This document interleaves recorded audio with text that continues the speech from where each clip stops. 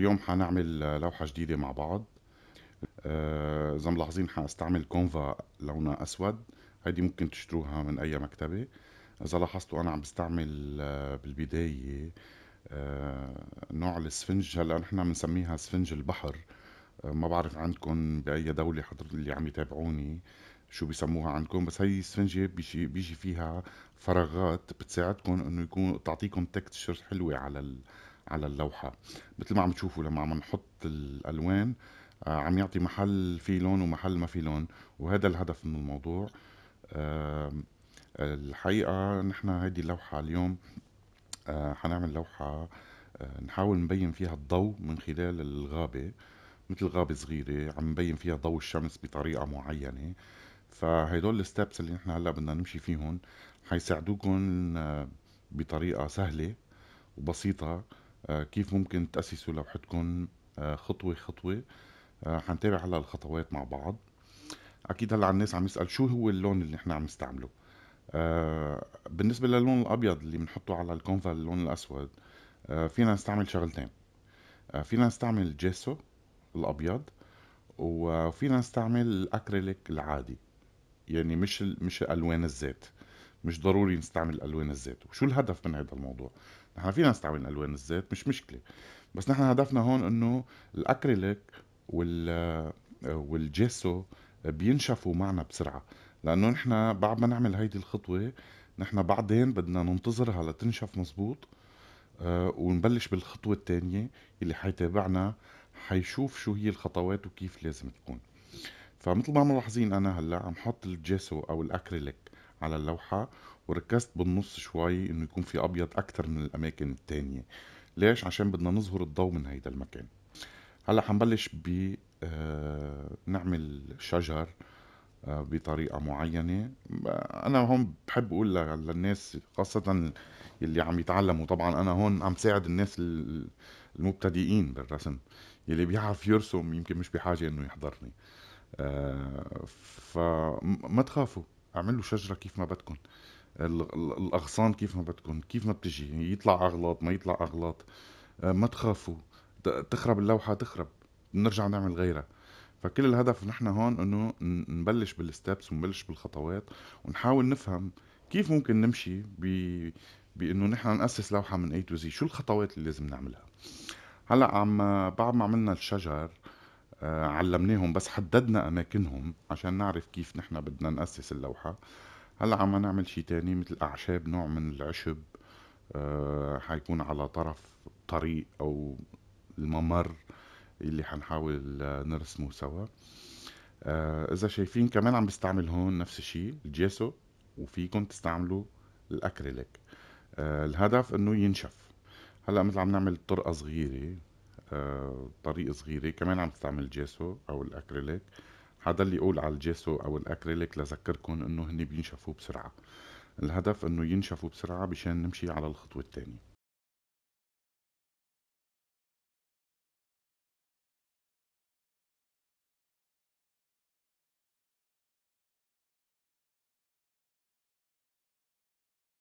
السكين هون ل...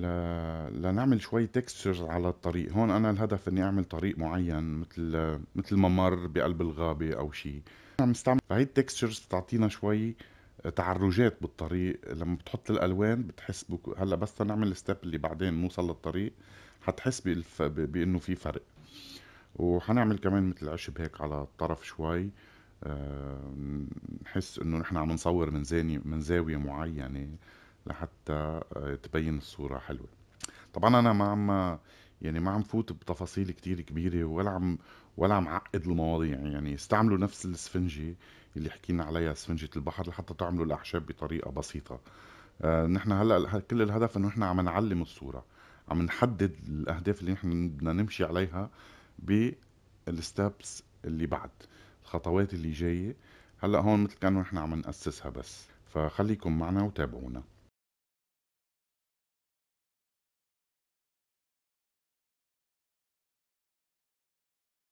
نحاول نعمل الأغصان. نحن آه، يمكن حدا منكم ما عنده كل أنواع الريش اللي ممكن تعمل الأغصان. آه، أنا عم برسم بريشة عادية.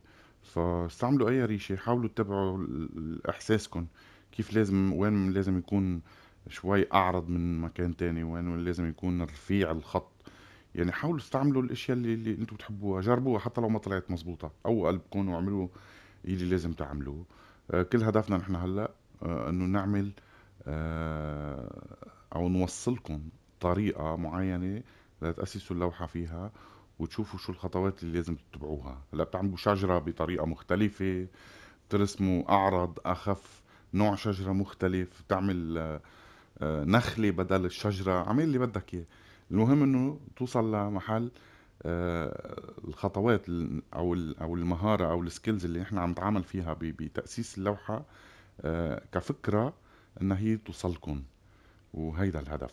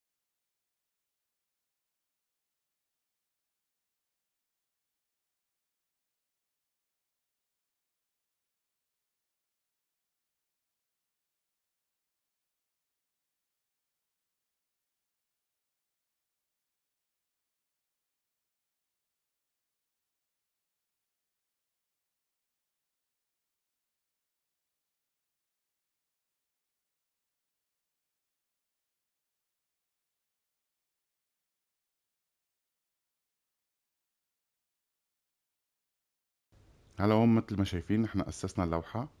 صار جاهزة أبيض وأسود واستعملنا ال gesso والأكريليك. المفروض تكون نشفت تماما. عم نجهز هلأ لنفوت بمرحلة الألوان. مثل ما شايفين عم بخلط اللون الأخضر والأصفر. ممكن تستعمل اللون الأخضر بال level اللي بدك إياه اللون اللي بدك إياه. اختار اللون اللي بدك إياه. آه آه أنا حطيت عليهم شوية زيت.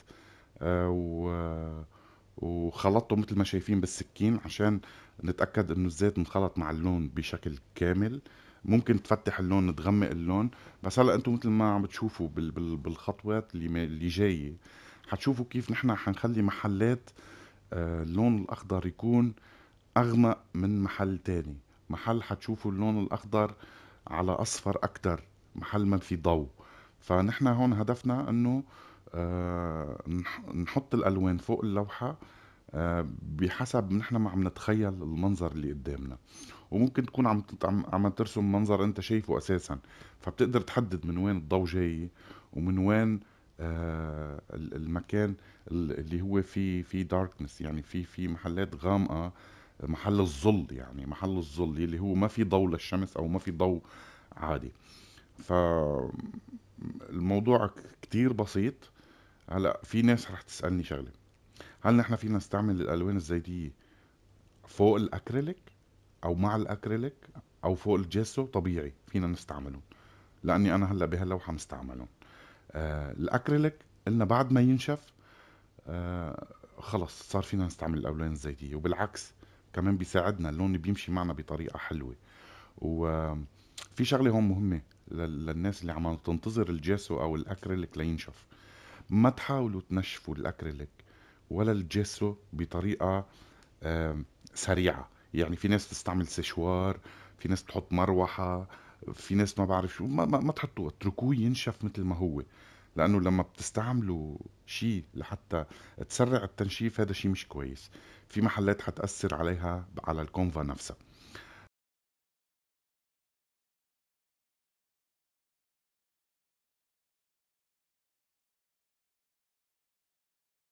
هون مثل ما شايفين أنا فوق اللون الأخضر حطيت لون أسود. أه بدي غمق اللون الأخضر شوي. الهدف إني المحل اللي فيه تظليل أه أنا حاب يكون لونه أغمق عشان يكون الظل واضح بقلب الصورة. ففيك تستعمل لون أخضر غامق يكون جاهز. وإذا ما عندك لون أخضر جاهز فيك تحط له شوية أسود زيادة. بتحط عليه شوية زيت بتخلطهم مزبوط بالسكين وبترجع أنت عم تستعمل الفرشاية لازم الفرشاية تعبيها مزبوط وتكون موزع الألوان على الفرشاة بطريقة مية بالمية متساوية. هلأ مثل ما عم بتشوفوا نحن عم نزيد الظل بالأماكن اللي هي بعيدة عن الضوء. فنحن هون آه، عم نحاول نغمق اللون بالزوايا وبالأماكن اللي هو بعيد فيها الضوء. إذا بتتذكر أول لوحة محل ما حطينا الأكريليك أو ال gesso بالنص. قلنا بدنا نكتر شوي spot بالنص عشان نحن بدنا ناخد الضوء بنص الصورة.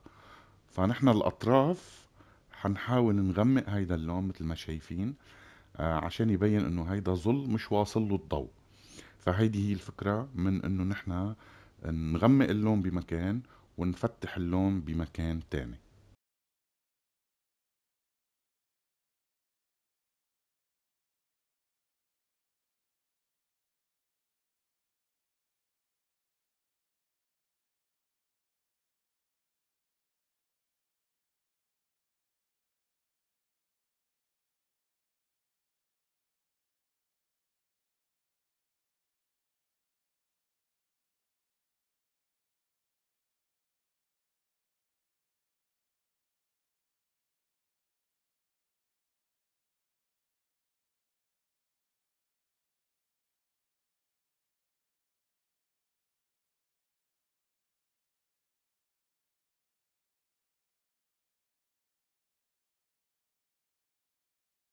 حنبلش معكم ب بإنه نلون الأرضية أو الممر اللي موجود من ضمن الغابة. طبعا فينا نستعمل عدة ألوان. طبعا اللون البني والبني الفاتح أو الغامق هو أنسب شيء للألوان اللي هي بتظهر لون الطريق.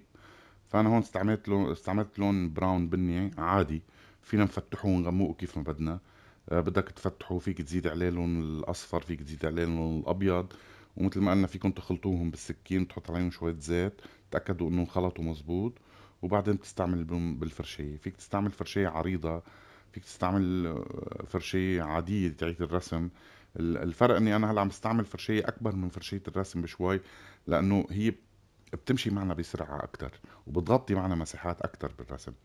هون إذا كمان بتلاحظوا أنا عم حط آه، آه، لون أغمق شوي. لأن بدي يبين الظل كمان على الأرض. وهلأ شوي بعدين حنحاول نفتح نعطي ضوء لمكان على الأرض بطريقة معينة. هلأ بنرجع بنشوفها بالمرحلة اللي بعدها. هلأ حنبتدي مع بعض بإنه نحن نشتغل كيف بدنا نطلع الضوء من الصورة. مثل ما شايفين حطينا اللون الأصفر. فينا اللون الأصفر نلعب باللون مثل ما بدنا نفتحه ونغمقه شوي. بس حلو اللون الأصفر يبين. لأنه لما بنحط اللون الأصفر على على الكونفا فوق ال gesso مع الأكريليك واللون الأخضر اللي حطيناه فبيعمل mix مع بعضه. بفرجيك اللون الأصفر كيف عم بيتحول لخضار آه، بس مصفر شوي. ليش؟ لأنه انمزجوا مع بعضهم. آه، نحن عم ما تنسوا نحن عم نستعمل ألوان زيتية هلأ. فالألوان الزيتية بتنشف بسرعة. فلما بتحط اللون بيصير بيصير في نوع من المزج بين الألوان وبتشوف إنه آه عم ببين فاتح على خضر so so الأصفر عم بين شوي على أخضر وهيدا هو المقصود من الموضوع. فنحن بنرجع بنكرر العملية دائما بنبلش من ال spot بالنص وبنمشي بالفرشايه step by step مثل ما كنتم شايفين بالصورة وبنطلع لبرا شوي شوي.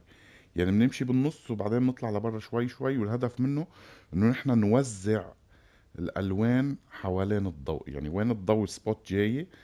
فنحن بدنا نوزع الضوء حوالين هيدا الضوء بالمنطقة اللي نحن شايفين إنه الضوء واصلها فهيدا الهدف. المحلات الغامقه إذا شايفينها مثل ما عملناها من شوي نحن ما عم نقرب عليها اللون الأصفر. ليش؟ لأنه هيدا المفروض إنه هو آه، مظلل فمش رح يبين معنا. المرحلة اللي بعدها حنحط فوق اللون الأصفر شوي لون أبيض. هلأ حتشوفوا كيف حتبين معنا الصورة. آه يلي بيشوف ضوء جاي من مكان فيه ظل أو من خلال ظل. دايما بيلاحظ إنه في وهج معين بالضوء بتحسه هيك مبين بالصورة. أو الصورة أو حتى بعينك أنت عم تطلع عليه. فاللون الأبيض مثل ما شايفين نحن عم نستعمله هلأ مثل ما حطينا اللون الأصفر بالضبط بدنا نوزعه على المكان اللي موجود فيه الضوء بقلب الصورة. والهدف إنه نحن نشوف الوهج تبع الضوء. طبعا هلأ بالمراحل اللي بعدها حتشوفوا كيف حترجع تتكون الصورة من تاني وجديد. هلأ في إشياء حتشوفوها ما كتير مبينة من جوا مثل أغصان الشجر. هلأ حنستعمل فرشايه كبيرة تكون نظيفة. هيدي الفرشايه بنرجع من منوزع الألوان مثل كأنه عم نوزع الألوان بطريقة ونخففها. يعني ما بدنا يكون اللون كله حاضق هلأ عم تلاحظوا إنه بلش الإشياء البعيدة من الشجر مع وجه الضوء بلشت تبين. هلأ تكونت هون عنا. الضوء. آه طبعا الأعشاب اللي موجودة حوالين المنطقة اللي جاي عليها الضوء المفروض إنه يدخلها لون شوي أصفر عشان نبين انعكاس ضوء الشمس أو انعكاس الضوء بشكل عام على هيدي المنطقة. آه مثل ما شايفين عم حط اللون الأصفر عم استعمله بالسكين واللون الأصفر فينا نفتحه ونغمقه كيف ما بدنا. أنا هلأ الهدف من الموضوع إنه نورجيكم الخطوات اللي كيف ممكن تستعملوا هيدا اللون أو هيدي الألوان وشو الطريقة. آه بالسكين ما نحط عليها ألوان كتير نحن الهدف بس هيك شي بسيط. بنفوت شوي كمان لجوا على قلب الغابة مش بس بنحط على الأعشاب البعيدة. آه، الهدف إنه كمان الأعشاب أو أو الزرع أو الأشياء اللي موجودة بالغابة طبعا بتتأثر بلون الضوء فبتغير آه، ألوانها للعين. آه، مثل ما شايفين بالصورة بتمنى تكونوا عم تستفادوا من من الخطوات اللي عم نعملها وبتمنى تجربوها. وبتمنى كتير منكم وكتير منكم قبل هلأ شاركوني أشياء آه، جربوها وكانت عمليات ممتازة ممتازة. هون إذا ملاحظين عم نحاول نضيف آه، على لون الطرق أو الطريق أو الممر انعكاس ضوء معين اللي جاي من بعيد. ما بدنا نغطي الطريق كله. جزء بس اللي هو نحن بنحس إنه هو جاي عليه الضوء.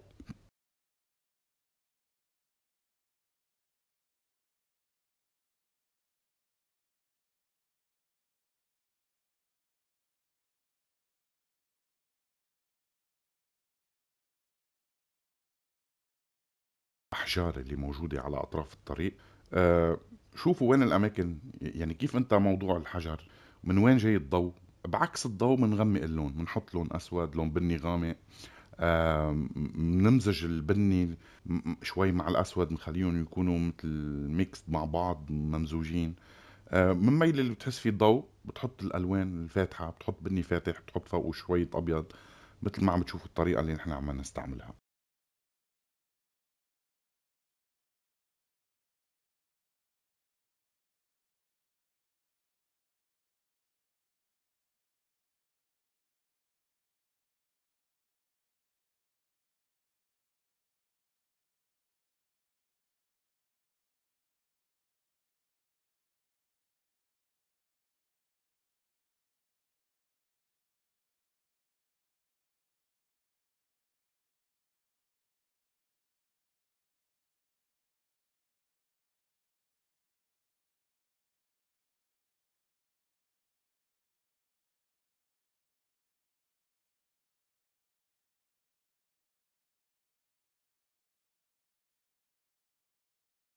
بعد ما خلصنا آه، وهج الضوء والألوان وخلصنا كل شيء الشجرة القريبة علينا حبينا نحن نحددها آه، نورجي إنه هي بعكس الضوء.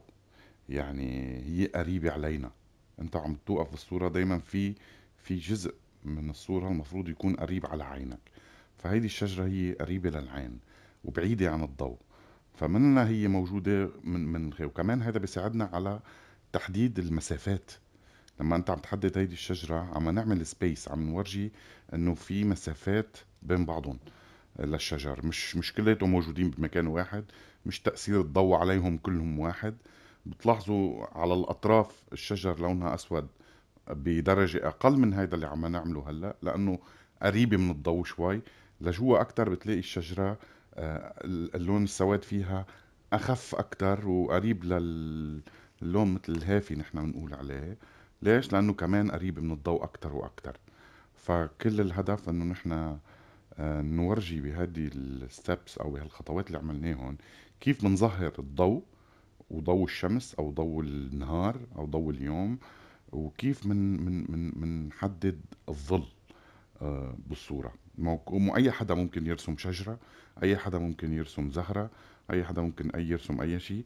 كل الهدف من من الاكسرسايز اللي عملناه اليوم إنه نحن نظهر آه، الضوء ونظهر الظل. وهيدا آه، هيدي المهارة اللي هي نحن حبينا نتعلمها اليوم مع بعض. آه، حنضيف هيك شوية أزهار على الصورة بشكل بسيط مثل ما شايفين.